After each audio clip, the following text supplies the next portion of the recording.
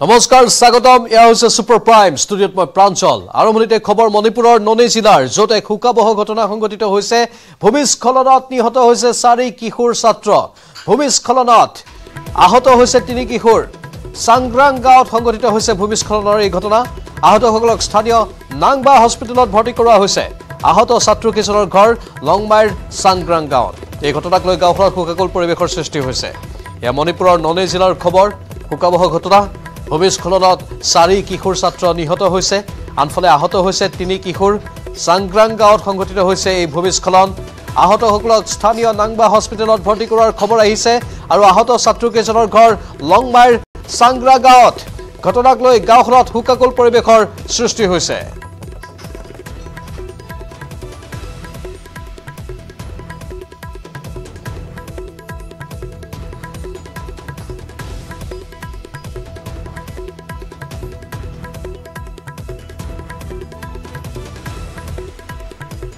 মণিপুৰৰ খবৰ আমি জনাই আছো ধাৰাবাহিকভাৱে কাৰণ এফালে মণিপুৰত সংঘৰ্ষ আনফালে এক শোকাবহ ঘটনা।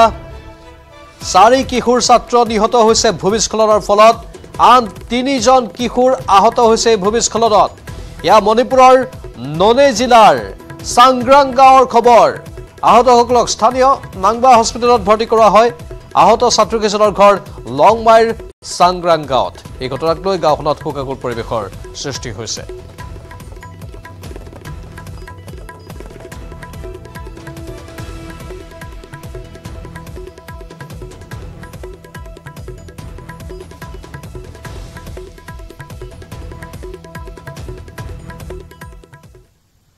এইবাৰ মহানগৰীৰ হানি ট্ৰেফিং চক্ৰৰ ঘাটিত জালুকবাৰী আৰক্ষীৰ অভিযানৰ খবৰ। দুগৰাকী মহিলাসহ ছাদ্দাম হুছেইন নামৰ এজনক গ্ৰেপ্তাৰ কৰা হৈছে। কিন্তু ৰহস্যজনকভাৱে আৰক্ষীৰ বেহু ফালি পলাল হানি ট্ৰেফিং চক্ৰৰ মাষ্টাৰ মাইণ্ড জালুকবাৰী থানাত ৰুজু হৈ থকা দুটা গোচৰৰ আধাৰত চলা অভিযানত পোহৰলৈ আহিল আন এক চাঞ্চল্যকৰ তথ্য। হানি ট্ৰেপিং চক্ৰৰ ঘাটিত দেহ ব্যৱসায়ো চলাই গৈছিল অপৰাধীৰ দলটোৱে। চল চক্ৰান্ত কৰি ঘাটিলৈ মাতি অনা লোকৰ পৰা লুটি লৈছিল ধন আৰু আ অলংকাৰ। আনকি মহানগৰীৰে কেইবাজনো ধনবান লোকৰ পৰা হানি ট্ৰেপিং চক্ৰটোৱে সৰকাই নিছিল লাখে লাখে টকা। মুখলজ্জাৰ ভয়ত বহুদিনে নিমাতে আছিল ভুক্তভোগীসকল। কিন্তু এতিয়া এই হানি ট্ৰেপিং চক্ৰৰ মূল খলনায়কৰ এইবোৰ আলোকচিত্ৰ পোহৰলৈ আহিছে। ইতিমধ্যে এই হানি ট্ৰেপিং চক্ৰৰ ঘাটিত আৰক্ষীয়ে গৈ অভিযান চলালে। জালুকবাৰীৰ আৰক্ষীৰ অভিযানৰ খবৰ এয়া দুগৰাকী মহিলাসহ ছাদ্দাম হুছেইন নামৰ এজনক গ্ৰেপ্তাৰ কৰা হৈছে কিন্তু ৰহস্যজনক অৱস্থাত আৰক্ষীৰ বেহু ফালি পলাইছে হানি ট্ৰেপিং চক্ৰৰ মাষ্টাৰ মাইণ্ড আৰু এই মাষ্টাৰ মাইণ্ডটোৱে পলায়ন কৰাৰ লগে লগেই আকৌ ক'ৰবাত ঘাটি পতাৰ এটা নতুন পথ খুলিবলৈ হয়তো চেষ্টা কৰিব। কাৰণ আৰক্ষীৰ পৰা এনেধৰণে বহু সময়ত পলাই সাৰি বিভিন্ন দুষ্কাৰ্য সময়ে সময়ে কৰি থাকে। এটা ঘাটিৰ পৰা আন এটা ঘাটিলৈ তেওঁলোক স্থানান্তৰিত হয়। এটা ঘাটি মাৰা গ'লে আন এটা ঘাটি তেওঁলোকে খুলি লয়। এয়াই হৈছে হানি ট্ৰেপিং চক্ৰৰ মূল কাৰ্যসূচী। জালুকবাৰী থানাত ৰুজু হৈ থকা দুটা গোচৰৰ আধাৰতেই অভিযান চলোৱা হ'ল আৰু তেতিয়াই পোহৰলৈ আহিল আন এক চাঞ্চল্যকৰ তথ্যও কাৰণ হানি ট্ৰেপিং চক্ৰৰ ঘাটিত দেহ ব্যৱসায়ো চলাই গৈছিল অপৰাধী দলটোৱে। আৰু সেই দেহ ব্যৱসায় আৰু হানি ট্ৰেপিং একেলগে চলাই গৈছিল যিহেতু দেহ ব্যৱসায় আৰু সেই দেহ ব্যৱসায়ত মধ্যস্থতাকাৰী এইসকল সোমাই পৰিছিল। আৰু হানি ট্ৰেপিং বিশ্বৰ সবাতোকৈ পুৰণি এটা ব্লেকমেইলিং পন্থা আৰু সেই হানি ট্ৰেপিঙো একাংশক কৰিছিল বিশেষকৈ যিবোৰ ধনী ব্যক্তি সেইসকলক হানি ট্ৰেপিং কৰিছিল।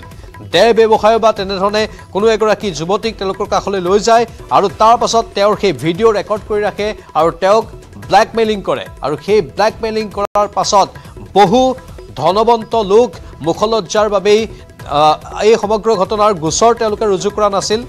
কিন্তু এতিয়া অৱশেষত মুখা খোল খাইছে এই সকলোৰে। যিসকলে এই বেহা চলাই থাকে সেই বেহা চলোৱাসকলক কৰায়ত্ব কৰাৰ বাবে বিশেষ উদ্যোগ গ্ৰহণ কৰা হৈছে কিন্তু মাষ্টাৰ মাইণ্ডে ইতিমধ্যেই পলায়ন কৰিছে।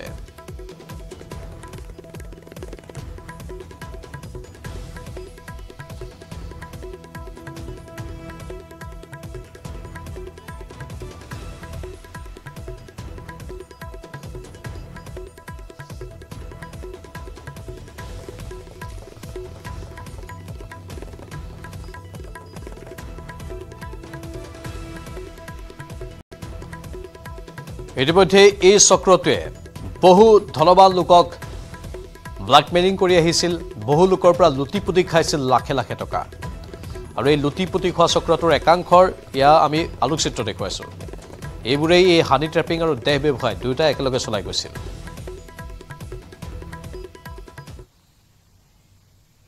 ছুপাৰ প্ৰাইমত আৰু বহু খবৰ আছে জনাই থাকিম বিৰতিৰ পাছত। ভাৰতৰ গৌৰৱ গোটেই বিশ্বতেই ইয়াৰ সন্মান ষ্ট্ৰং মানে মাইথান ষ্টীল নিৰ্বাচনৰ প্ৰাকখনত ইটোৰ পিছত সিটো আঞ্চলিক দলৰ সৈতে মিত্ৰতা বিজেপিৰ। অন্ধ্ৰপ্ৰদেশৰ তেলেগু দেশম পাৰ্টীৰ সৈতে মিত্ৰতা চূড়ান্ত হ'ল গেৰুৱা দলটোৰ। ইয়াৰ পূৰ্বে উৰিষ্যাৰ বিজু জনতা দলৰ সৈতে মিত্ৰতা চূড়ান্ত কৰিছিল বিজেপিয়ে।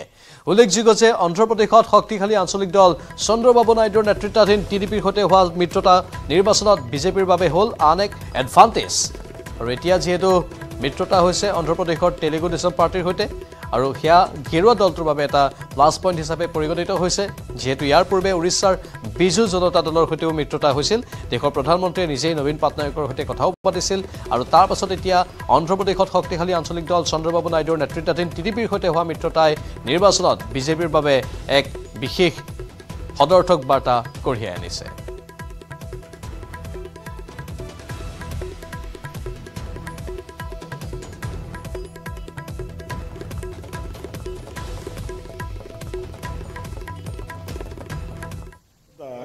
Today, from past few, five years, there is no development in the state, no development in the state of Andhra Pradesh, where these alliances can bring for the future development of the state, as well as our dream capital, Amaravati, would come true for all the people of Andhra Pradesh, and we are very happy to be an aligned partner of NDA.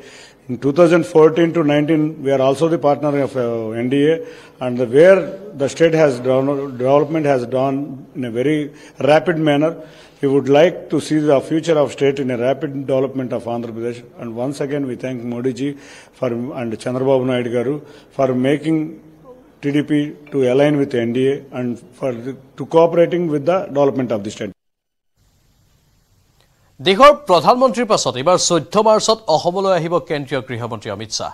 Batadrava থানালৈ আহিব কেন্দ্ৰীয় গৃহমন্ত্ৰীগৰাকী। এশ আঠাশী কোটি টকা ব্যয়েৰে নিৰ্মাণ হৈ থকা বটদ্ৰৱা প্ৰকল্পৰ প্ৰথম পৰ্যায়ৰ কাম মুকলি কৰাৰ লগতে দ্বিতীয় পৰ্যায়ৰ কামৰ শুভাৰম্ভ কৰিব। এই প্ৰকল্পত থাকিব আটাইতকৈ ওখ গুৰু আসন।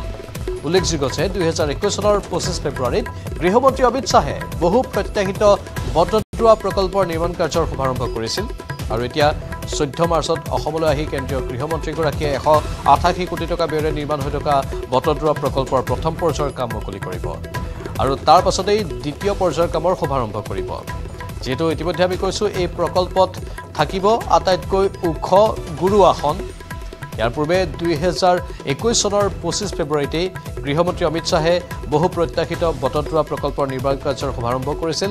আৰু তাৰ পাছত এতিয়া প্ৰথম আৰু দ্বিতীয় পৰ্যায়ৰ কামৰ শুভাৰম্ভৰ সময় এশ আঠাশী কোটি টকা ব্যয়েৰে নিৰ্মাণ হৈ থকা বটদ্ৰৱা প্ৰকল্পৰ প্ৰথম পৰ্যায়ৰ কাম মুকলি কৰিব আৰু দ্বিতীয় পৰ্যায়ৰ কামৰ শুভাৰম্ভ কৰিব দেশৰ গৃহমন্ত্ৰী অমিত শ্বাহে চৈধ্য মাৰ্চত।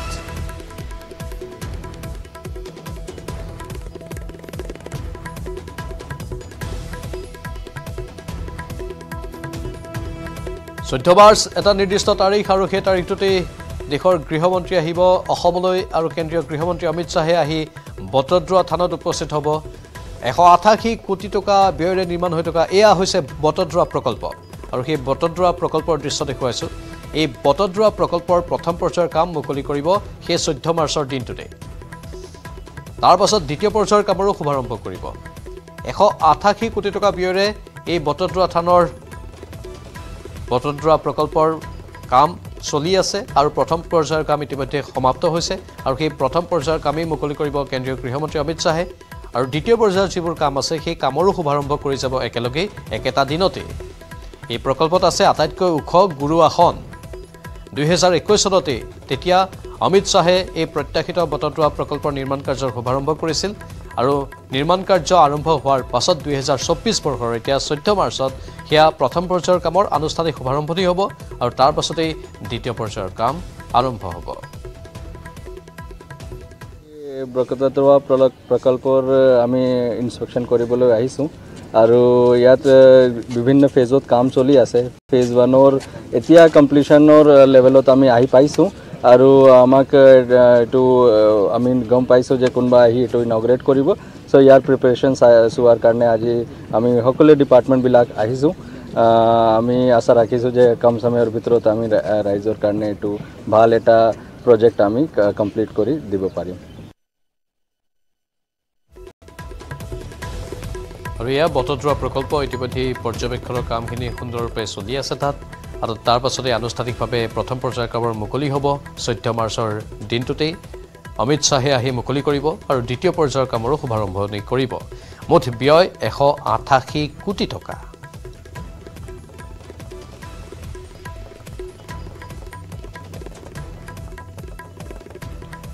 আৰু এই মুহূৰ্তৰ এক ডাঙৰ খবৰ দেশৰ নিৰ্বাচন আয়ুক্ত অৰুণ গোৱেলে পদত্যাগ কৰিছে। লোকসভা নিৰ্বাচনৰ পূৰ্বে নিৰ্বাচন আয়ুক্তৰ পদত্যাগৰ খবৰ স্বাভাৱিকতে অত্যন্ত এটা ডাঙৰ খবৰ হিচাপে বিবেচিত হৈছে। ৰাষ্ট্ৰপতি দ্ৰৌপদী মুৰ্মুলৈ পদত্যাগ পত্ৰ প্ৰেৰণ কৰিছে। ৰাষ্ট্ৰপতিয়ে গ্ৰহণ কৰিছে গোৱেলৰ পদত্যাগ পত্ৰ।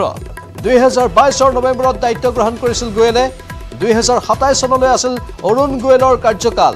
ফেব্ৰুৱাৰী মাহত নিৰ্বাচন আয়ুক্ত অনুপ চন্দ্ৰ পাণ্ডে অৱসৰ লোৱাৰ পিছত তিনিজনীয়া আয়োগ দুজনলৈ হ্ৰাস পোৱাৰ সময়তেই গোৱেলৰ এই পদত্যাগ। গোৱেলৰ পদত্যাগ গ্ৰহণ কৰাৰ লগে লগে কেৱল মুখ্য নিৰ্বাচন আয়ুক্ত ৰাজীৱ কুমাৰহে বাকী আছে। আমি পুনৰ জনাইছোঁ আপোনালোকক লোকসভা নিৰ্বাচনলৈ বৰ বেছি দিন নাই আৰু তাৰ মাজতেই বা তাৰ পূৰ্বে দেশৰ নিৰ্বাচন আয়ুক্ত অৰুণ গোৱেলে পদত্যাগ কৰিছে। লোকসভা নিৰ্বাচনৰ পূৰ্বে নিৰ্বাচন আয়ুক্তৰ পদত্যাগ অত্যন্ত গুৰুত্বপূৰ্ণ খবৰ হিচাপে বিবেচিত হৈছে। ইতিমধ্যে ৰাষ্ট্ৰপতি দ্ৰৌপদী মুৰ্মুলৈ পদত্যাগ পত্ৰ প্ৰেৰণ কৰাৰ পাছত ৰাষ্ট্ৰপতিয়ে সেই পদত্যাগ পত্ৰখন গ্ৰহণ কৰিছে। দুহেজাৰ বাইছ চনৰ নৱেম্বৰত তেওঁ দায়িত্ব গ্ৰহণ কৰিছিল আৰু দুহেজাৰ সাতাইছ চনলৈ তেওঁৰ দায়িত্ব আছিল কিন্তু আধাতে কিয় দায়িত্ব এৰি দিলে সেয়া এই মুহূৰ্তত এটা প্ৰশ্নবোধক। ফেব্ৰুৱাৰী মাহত নিৰ্বাচন আয়ুক্ত অনুপ চন্দ্ৰ পাণ্ডে অৱসৰ লোৱাৰ পিছত তিনিজনীয়া আয়োগ দুজনলৈ হ্ৰাস পোৱাৰ সময়তেই গোৱেলে পদত্যাগ কৰিছে আৰু গোৱেলৰ পদত্যাগ গ্ৰহণ কৰাৰ লগে লগে কেৱল মুখ্য নিৰ্বাচন আয়ুক্ত ৰাজীৱ কুমাৰহে বাকী আছে। আৰু গোৱেলৰ এই পদত্যাগ ইতিমধ্যে আমি কৈছোঁ সবাতোকৈ এটা গুৰুত্বপূৰ্ণ খবৰ হিচাপে বিবেচিত হৈছে এই মুহূৰ্তত।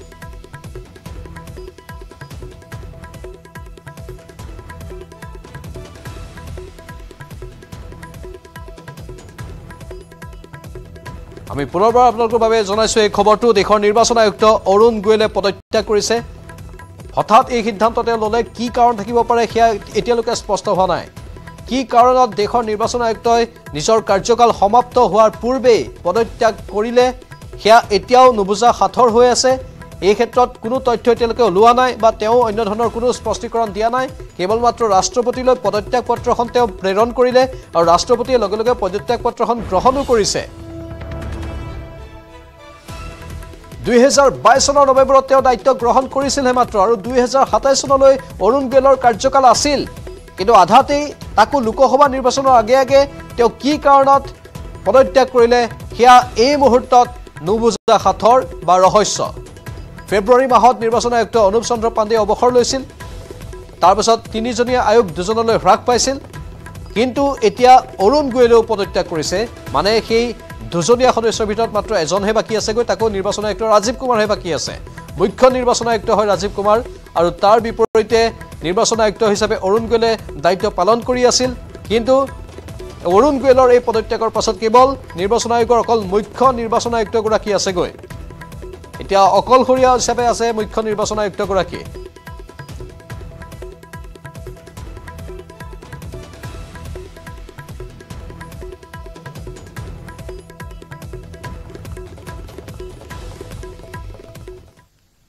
এই সন্দৰ্ভত পৰৱৰ্তী সময়ত আমি অধিক তথ্য সম্প্ৰচাৰ কৰি থাকিম। এতিয়া আগবাঢ়িছোঁ আন আন খবৰৰ মাজলৈ। অসম জাতীয় পৰিষদৰ বৰ্ধিত ৰাজনৈতিক পৰিক্ৰমা সমিতিৰ বৈঠকৰ অন্ত পৰিল বৈঠকত লোকসভা নিৰ্বাচনৰ ৰণকৌশল সন্দৰ্ভত আলোচনা কৰা হয়। প্ৰাৰ্থিত্বক লৈও আলোচনা হয় বৈঠকত। বৈঠকত দুলু আহমেদৰ অসন্তুষ্টিক লৈও আলোচনা কৰা হয়। বৈঠকৰ বৰপেটাৰ পৰা নিৰ্বাচন খেলাৰ কথা উত্থাপন কৰে। দুলুৰ প্ৰাৰ্থিত্বক লৈ কংগ্ৰেছসহ অন্যান্য দলৰ সৈতে শীঘ্ৰে বৈঠকত বহিব অসম জাতীয় পৰিষদ। এতিয়া মোৰ নামটো বৰপেটা লোকসভা সমষ্টিত অন্তৰ্ভুক্ত কৰি বিৰোধী ঐক্য মঞ্চলৈ প্ৰেৰণ কৰিব গুৰুত্ব সহকাৰে। এইটো দলৰ সভাপতি ইতিমধ্যে আপোনালোকক কৈছে। তাৰপিছত বিৰোধী ঐক্য মঞ্চই কি ধৰণে সিদ্ধান্ত ল'ব সেইটোতো এই মুহূৰ্তত মই ক'ব নোৱাৰিম। গতিকে মই যিটোত ক্ষোভিত হৈ আছিলোঁ সেই ক্ষোভিত হৈ থকা যে বৰপেটা সমষ্টিৰ নাম কিয় অহা নাছিলে আজি কিন্তু হাউচৰ সিদ্ধান্ত মৰ্মে বৰপেটা নামটো বিৰোধী ঐক্য মঞ্চত দুলু আহমেদৰ নামটো উত্থাপন হৈছে আজি। এইটো প্ৰস্তাৱ কৰিছে প্ৰস্তাৱ প্ৰেৰণ কৰি কৰিব বুলি দলৰ সভাপতি লুৰিণজ্যোতি গগৈ ডাঙৰীয়া নিজেই ক'লে। কৈছে কিন্তু আপুনি নিৰ্বাচন খেলিবৰ কাৰণে আজিৰ দিনত কিমান সাজু? আৰু মই যেতিয়া আজি মোৰ কথা ইয়াত উত্থাপন কৰিলোঁ নামটো যেতিয়া গ'ল নিৰ্বাচন খেলিম কাৰণেতো নামটো গৈছে। ইছলাম ধৰ্মী ভোটাৰেৰে ভৰি থকা মৈৰাবাৰীত ভোট বিচাৰি ঘূৰি ফুৰিছে বিজেপি প্ৰাৰ্থী সুৰেশ বৰাই। ৰমজান উপলক্ষে মৈৰাবাৰী গাৰেহেৰা জামে মছজিদত বহা অনুষ্ঠানত উপস্থিত হৈছে নগাঁও লোকসভাৰ বিজেপি প্ৰাৰ্থীগৰাকী। সমূহীয়া দোৱা আৰু ইফতাৰত অংশ ল'লে সুৰেশ বৰাই। ইছলাম ধৰ্মাৱলম্বী ভোটাৰৰ সৈতে বহু সময় ধৰি মত বিনিময় কৰিলে বিজেপিৰ প্ৰাৰ্থী সুৰেশ বৰাই। আৰু নিৰ্বাচনী গৰম বতাহ বলি আছে। এতিয়ালৈকে নগাঁও সমষ্টিৰ কংগ্ৰেছৰ প্ৰাৰ্থীৰ নাম চূড়ান্তই হোৱা নাই কাৰণ কংগ্ৰেছে প্ৰাৰ্থীৰ নাম ঘোষণাই কৰা নাই। আৰু সুৰেশ বৰাৰ বাবে ই এটা হৈছে অধিক সুবিধাজনক সময় যাৰ বাবে তেওঁ বিভিন্ন স্থানত গৈছে। নগাঁও লোকসভা সমষ্টিৰ অন্তৰ্গত এই স্থানবোৰতো গৈছে য'ত ইছলাম ধৰ্মী ভোটাৰেৰে ভৰি আছে। ভৈৰাবাৰী এই অঞ্চলটোৰ নাম। আৰু তাতেই ভোট বিচাৰি ঘূৰি ফুৰিছে বিজেপি প্ৰাৰ্থী সুৰেশ বৰাই। ৰমজান উপলক্ষে মৈৰাবাৰী গাৰেহেৰা জামে মছজিদত বহা অনুষ্ঠানত উপস্থিত হ'ল নগাঁও লোকসভাৰ এইগৰাকী বিজেপিৰ প্ৰাৰ্থী। সমূহীয়া দোৱা আৰু ইফতাৰত অংশ ল'লে সুৰেশ বৰাই। ইছলাম ধৰ্মাৱলম্বী ভোটাৰৰ সৈতে বহু সময় ধৰি তেওঁ মত বিনিময়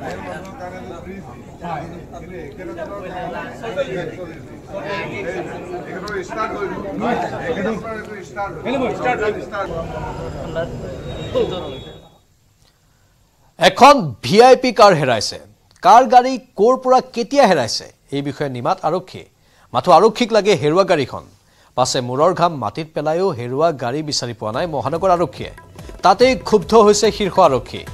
হেৰুৱা গাড়ী বিচাৰি মহানগৰীৰ তেৰখন থানাই জাৰি কৰিছে ৰেড এলাৰ্ট। আনকি মেঘালয়ৰ জোৱাইৰ পৰা ভঙাগড় আৰক্ষীয়ে খেদি খেদি ধৰি আনিলে দুটা গাড়ী চোৰক। আজিজুল আলী আৰু জনিনুদ্দিন আলী নামৰ চোৰ দুটাক হাতেলোতে কৰায়ত্ব কৰি ভঙাগড় আৰক্ষীয়ে জব্দ কৰিলে A S zero' one F C seven nine three five নম্বৰৰ গাড়ীখন। জি পি এছ সংস্থাপন কৰি বাবে- বাবেই মেঘালয়ৰ জোৱাইৰ পৰা ভঙাগড় আৰক্ষীয়ে অনায়াসে জালত পেলালে চোৰৰ দলটো। কেৱল ভঙাগড়েই নহয় গাড়ী আৰু বাইক চোৰৰ বিৰুদ্ধে তৎপৰতা দেখুৱাইছে ফটাশিল আমবাৰী আৰু আজৰা আৰক্ষীয়ে। ভঙাগড় আৰক্ষীয়ে মেঘালয়ৰ পৰা গ্ৰেপ্তাৰ কৰা আজিজুল আলী আৰু জনিনুদ্দিন আলীৰ স্বীকাৰোক্তিৰ আধাৰত আজৰা আৰক্ষীয়ে আমিৰ আলী আৰু ৰাজাক আলী নামৰ দুটা গাড়ী চোৰক জালত পেলাই জব্দ কৰিলে। আন এখন বিলাসী বাহন। সমান্তৰালকৈ গুৱাহাটীৰ ফটাশিল আমবাৰী থানাই গ্ৰেপ্তাৰ কৰিলে ৰেকিবুল হুছেইন ছামেদ আলী জাকিৰ হুছেইন আৰু বিশাল হুছেইন নামৰ চাৰিটা বাইক চোৰক। দুখন গাড়ী জব্দ কৰি আঠটা গাড়ী আৰু বাইক চোৰক গ্ৰেপ্তাৰ কৰাৰ পাছতো লক্ষ্যত উপনীত হ'ব পৰা নাই মহানগৰ আৰক্ষী। এতিয়াও আৰক্ষীয়ে জব্দ কৰিব পৰা নাই। খুদ মহানগৰীৰ মাজমজিয়াৰ পৰা চুৰি হোৱা ভি আই পি কাৰখন। সেই বিশেষ কাৰখন বিচাৰি নোপোৱালৈকে সাৱন সোৱন নাইকিয়া হৈছে মহানগৰীৰ তেৰখন থানাৰ আৰক্ষী বাহিনীৰ এতিয়া একোৱে নোহোৱা হৈছে তেওঁলোকৰ। না খাৱন আছে না খাব পাৰিছে ভালকৈ না শুব পাৰিছে ভালকৈ। ভি আই পি কাৰ চুৰি কৰাৰ দুঃসাহস কৰা চোৰক বিচাৰি নাপালে কঠোৰ শাস্তিৰ আশংকাত ভুগিছে এতিয়া মহানগৰ আৰক্ষী। বন্ধ কৰি দিলোঁ। মই ৰাতি মোটামুটি টোপনিত গ'লোঁ যেতিয়া। মই ৰাতিপুৱা তিনিটা বজাতে সাৰ পালোঁ যে এখন মেছেজ আহিল। টুল টেক্সৰ মেছেজ হয় এখন। মই ভাবিলোঁ যে গাড়ীখন কেনেকৈ টুল টেক্সৰ পইচাটো কাটিলে। মই লগে লগে জি পি এছটোত চালোঁ। চাইছোঁ গাড়ীখন শ্বিলং ৰাস্তাত চলি আছে মানে। লগে লগে উঠি কিনে থানাত আহিলোঁ। ছাৰক জনালোঁ। লগে ছাৰে গ'ল আমিও গ'ল। যাই কিনে গাড়ীটো ধৰিলোঁ ভাষ্য আপোনালোকে শুনিলে। লগতে এটা প্ৰশ্ন উত্থাপন হৈছে যে ভি আই পি গাড়ীৰ বাবেহে ইমান আৰক্ষীৰ তৎপৰতা নেকি কোনো সাধাৰণ লোকৰ যদি গাড়ী এনেধৰণে চুৰ হ'লহেঁতেন ইমান তৎপৰতা দেখালেহেঁতেন নে? স্বাভাৱিকতে নেদেখুৱায় আৰু সেইটোৱে হৈছে দুৰ্বলতা আৰু এনেধৰণেই গাড়ী চোৰবোৰে গাড়ী চোৰবোৰে সাহস পাই থাকে গাড়ী চুৰ কৰিবলৈ। মহানগৰীত বাইক বা গাড়ী চুৰিৰ ঘটনা আজি আজিৰ কথা নহয়। ই প্ৰায়ে হৈ থকা ঘটনা আৰু যেতিয়া আপোনাৰ কোনোবা লিংক আছে উচ্চপদস্থ মানুহৰ সৈতে যদি আপুনি ফোন এটা কৰি দিয়ে তেতিয়া গাড়ী বা বাইক ঘূৰাই পোৱাৰো পোৱাৰো ৰেকৰ্ড আছে। কিন্তু আপুনি যদি উচ্চপদস্থ কোনো মানুহক চিনি নাপায় অথবা আপুনি যদি ভি আই পি নহয় তেনেহ'লে আপোনাৰ গাড়ীখন আৰু এই মহানগৰীৰ পৰা কেতিয়াও বিচাৰি নাপায়। অন্তৰ্ধান হৈ যায় চোৰে বহু দূৰ লৈ যায়। বীৰেঞ্চি ডেকা আছে আমাৰ সাংবাদিক। বৰ্তমান ফোন লাইনত বীৰেঞ্চি কোন ভি আই পিৰ এইখন গাড়ী কেতিয়াৰ পৰা নোহোৱা হৈ আছে? যাৰ বাবে এতিয়া আৰক্ষীৰ খাৱন শোৱন একো নোহোৱা হৈ গৈছে। নিশ্চয় প্ৰাঞ্জল আচলতে এই ঘটনাটো প্ৰায় তিনি চাৰিদিন পূৰ্বে আচলতে সংঘটিত হৈছিল আৰু সমগ্ৰ গাড়ী চুৰি যিখন ভি আই পি গাড়ী আচলতে চুৰ হৈছে সেই চুৰি হোৱা ঘটনাটোক লৈ মহানগৰ আৰক্ষীৰ যিমান কেইখন থানা আছে মহানগৰ আৰক্ষীৰ ভিতৰত প্ৰত্যেকখন থানা অচিসকলক মাতি আনি কাৰা নিৰ্দেশ দিছিল যে এই গাড়ীখন যিকোনো প্ৰকাৰে গাড়ী চুৰি চক্ৰৰ পৰা উদ্ধাৰ কৰিব লাগে। কিন্তু আজি পৰ্যন্ত কিন্তু সেই গাড়ীখনৰ কোনো ধৰণৰ আচলতে সম্ভেদ লাভ কৰা নাই। আৰু দেখা পোৱা গৈছে যে সেই গাড়ী চুৰি যিসমূহ চক্ৰ আছে মহানগৰীৰ পৰা গাড়ী চুৰি চক্ৰ যি ধৰণে আচলতে গাড়ীসমূহ চুৰ কৰি বহিৰাজ্যত বিক্ৰী কৰে সেই চক্ৰসমূহৰ যিসমূহ চ'ৰ্চ আছিল আৰু সেই সকলোকে ইতিমধ্যে প্ৰতিখন থানাই তেওঁলোকক উঠাইছে নিশাৰ ভিতৰত এই দুদিনত। আৰু তেওঁলোকক সোধ-পোছ কৰি আচলতে বহুকেইখন অন্য গাড়ী চুৰি হোৱা উদ্ধাৰ কৰি উদ্ধাৰ কৰিছে তেওঁলোকৰ পৰা। কিন্তু এই মুহূৰ্তলৈকে সেই যিখন ভি আই পি গাড়ী যিখন আমি বিশেষভাৱে কৈছো সেই ভি আই পি গাড়ীখন কিন্তু এই মুহূৰ্তত কোনটো চক্ৰৰে চুৰ কৰিছে ক'ত ৰাখিছে এই মুহূৰ্তলৈকে কিন্তু আচলতে তাৰ কোনো মুহূৰ্ত উলিয়াব পৰা নো সমগ্ৰ বিষয়টোক লৈ আৰক্ষী আয়ুক্তগৰাকী মানে যথেষ্ট বিৰেঞ্চি এইটো বৰ শক্তিশালী চক্ৰ হ'ব লাগিব কাৰণ আমি জানো বহু গাড়ী চুৰি চক্ৰৰ কেতিয়াবা কেতিয়াবা আৰক্ষীৰ একাংশ লোকৰ সৈতেও লিংক থাকে বৰ ভাল সংযোগ থাকে। আৰক্ষীয়েও তেওঁলোকক ইনফৰমেশ্যন যোগান ধৰে এনেধৰণৰ বহু অভিযোগ বিভিন্ন সময়ত উত্থাপন হৈ থাকে। আৰু এই চক্ৰটোৰ যিহেতু খুদ আৰক্ষীয়ে সন্ধান পোৱা নাই হয়তো এইটো অন্য ধৰণৰ এক ব্যতিক্ৰমী চক্ৰ হ'ব। নিশ্চয় প্ৰাঞ্জল যে আচলতে সমগ্ৰ বিষয়টোক লৈ আৰক্ষী আয়ুক্তগৰাকীয়ে সকলোকে কাৰা নিৰ্দেশ দিছে যে যিকোনো প্ৰকাৰে সেই গাড়ীখন উদ্ধাৰ কৰিবই লাগিব বুলি আচলতে সকলো অচিক আৰক্ষী আয়ুক্তগৰাকীয়ে কৈছে কিন্তু কথা হ'ল যে আৰক্ষীৰ লগত আচলতে যিসমূহ চ'ৰ্চ থাকে সেই চ'ৰ্চসমূহ সকলো চ'ৰ্চ আচলতে আৰক্ষীয়ে লগাইছে প্ৰতিখন থানা অচিয়ে কিন্তু এই মুহূৰ্তলৈকে আচলতে সেই গাড়ীখন কোন চক্ৰই আচলতে চুৰ কৰিছে বা গাড়ীখনৰ বৰ্তমান অৱস্থিতি ক'ত আছে সেই সকলোখিনি কথা কিন্তু এই মুহূৰ্তলৈকে পোহৰলৈ অহা নাই বা আৰক্ষীয়ে যি ধৰণে যৎপৰোনাস্তি চেষ্টা কৰিছে গাড়ীখন উদ্ধাৰ কৰিবৰ কাৰণে বা সেই চুৰি চক্ৰ কেৱল মাত্ৰ কোনো অজ্ঞাত ভি আই পিৰ কাৰণে কাৰণ আমি সেই পোনপটীয়াকৈ ভি আই পিজনৰ নাম গম পোৱা নাই সেই অজ্ঞাত ভি আই পিজনৰ বাবেহে আৰক্ষীৰ ইমান তৎপৰতা নেকি? সাধাৰণ যদি লোক হ'লহেঁতেন তেনেহ'লে হয়তো ইমান আৰক্ষীয়ে কেতিয়াও তৎপৰতা নেদেখুৱায় চুৰ হৈছে হৈ থাকিব দিব হয়তো। নিশ্চয় তেনেকুৱা ঘটনা হয় যে মহানগৰীত বিভিন্ন প্ৰতিদিনে আচলতে গাড়ী চুৰি হৈ আছে। জয়ানগৰৰ পৰা দুদিন পূৰ্বে এখন গাড়ী চুৰ হৈছে হাটিঙৰ পৰা চুৰ হৈছে। সেইসমূহ চুৰি গোচৰতে আচলতে ফাইলতে থাকি যায় যে গৰাকী আহি থানাখনত নিয়েৰেষ্ট থানাখনত এটা কেছ ৰুজু কৰে বা তেওঁলোকে আৰক্ষীৰ লগত কিছুদিন তেওঁলোকে কিছু ট্ৰেক কৰে কোনো গাড়ীখন ক'ত আছে। কিন্তু পৰৱৰ্তী সময়ত কিন্তু কোনো ধৰণৰ সুফল আচলতে পোৱা নাযায়। কাৰোবাৰ যদি ভাগ্য ভাল থাকে হয়তো সেই ট্ৰেকত আচলতে পৰে তেতিয়া গাড়ীখন উদ্ধাৰ কৰিবলৈ সক্ষম হয়। কিন্তু এই গাড়ীখন এই কাৰণে আচলতে সমগ্ৰ মহানগৰ আৰক্ষীৰ এ, উগুৰি খাই পৰিছে যে সেইখন এখন ভি আই পি গাড়ী সেই গাড়ীখন আৰক্ষীৰ ফালৰ পৰা প্ৰভাইড কৰা গাড়ী আছিল। গতিকে সেই ভি আই পি গাড়ীখন এই মুহূৰ্তত উদ্ধাৰ কৰাটো মহানগৰ আৰক্ষীৰ বাবে যথেষ্ট জৰুৰী হৈ পৰিছে। নহলে মহানগৰ আৰক্ষীয়ে যি ধৰণে আচলতে দম্পালি মাৰি থাকে তেওঁলোকে অপৰাধ নিয়ন্ত্ৰণ কৰাত যথেষ্ট তেওঁলোকৰ যিকোনো চাৰ্ট দেখাই থাকে তেওঁলোকে যিসমূহ পৰিসংখ্যা আগবঢ়াই অপৰাধ নিয়ন্ত্ৰণ কৰা। সেই সম- সকলোখিনি আচলতে মাটিৰ লগত মিলি যাব। যদি এই গাড়ীখনৰ যদি কোনো সম্ভেদ তেওঁলোকে উলিয়াব নোৱাৰে। গতিকে দেখা পোৱা গৈছে যে সাধাৰণ লোকৰ এই ভি আই পি গাড়ীখনৰ ক্ষেত্ৰত এনেধৰণৰ এটা দেখা পোৱা গৈছে যে সাধাৰণ লোকৰ কি হ'ব সেয়া সহজে অনুভৱ ধন্যবাদ বিৰিঞ্চি কুমাৰ ডেকা এইখন গুৱাহাটীত প্ৰতিদিনেই মোবাইল চুৰ হয় প্ৰতিদিনেই বাইক চুৰ হয় গাড়ী চুৰ হয় আৰু আন আন বহু কিবা কিবি চুৰ হৈ থাকে। কিন্তু মহানগৰ আৰক্ষীয়ে যেনেধৰণে অপৰাধীৰ বিৰুদ্ধে কঠোৰ ব্যৱস্থা ল'ব পাৰিব লাগিছিল নোৱাৰে। আৰু এইবাৰ ক'ত তথাকথিত কোনোবা ভি আই পিৰে গাড়ী অন্তৰ্ধান হৈছে যাৰ বাবে এতিয়া হয়তো হৈচৈ লাগিছে আৰক্ষীৰ মাজত। আৰক্ষীয়ে যি সাহস দি আছিল একাংশ চোৰক একাংশ আৰক্ষীয়ে সেই সাহস দি থকাৰ পৰিণতিয়ে হয়তো এয়া হ'ব পাৰে।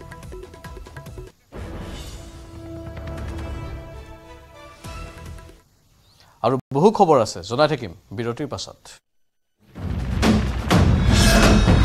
ভাৰতৰ গৌৰৱ গোটেই বিশ্বতেই ইয়াৰ সন্মান ষ্ট্ৰং মানে মাইথান ষ্টীল।